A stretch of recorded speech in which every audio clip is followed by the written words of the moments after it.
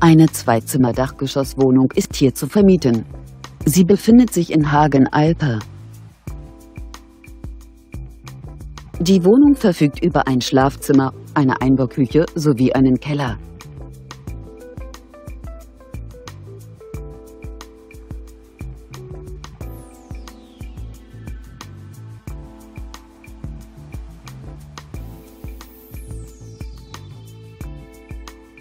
Die Dachgeschosswohnung umfasst eine Wohnfläche von ca. 62 Quadratmetern.